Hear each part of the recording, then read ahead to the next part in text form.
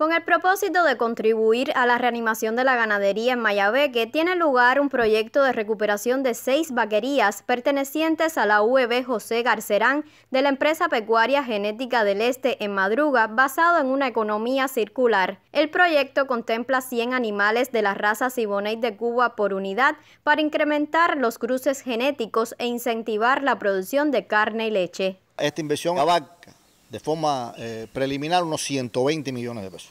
Unos 120 millones de pesos que también va a ser respaldada por la banca de fomento, de fomento agrícola. Las vaquerías están en la etapa inicial. Todas tienen los animales, son novillas que se están caracterizando. Ellas comenzarían a finales de este año y principios del año que viene a aportar ya la leche. Porque no son novillas, los que se le han introducido son 600 novillas cinco vaquerías de la raza Siboney y una, una vaquería de Cebú Bermejo para buscar mejoramiento a través de la transferencia de embriones. En el diseño del proyecto están previstas 200 hectáreas para la siembra de plantas proteicas, café, aguacate y plátano, así como la recuperación de una fábrica de pienso. Va a abarcar 100 hectáreas de, de plantas proteicas, con un cultivo líder que es la moringa, que es el cultivo que, que va a rectoriar la, que va la inversión, y una fábrica de pienso criollo donde se van a procesar todas esas materias primas de forma eh, secada como, como perle. Contamos con el agua para los animales, la recuperación de las áreas de pasto de los animales y bueno,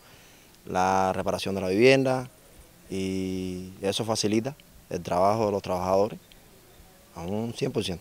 En las seis vaquerías se trabaja con un sistema de extracción de agua que emplea la energía fotovoltaica como parte del proyecto, el cual beneficia además la comunidad. Yaremi Madero, en directo.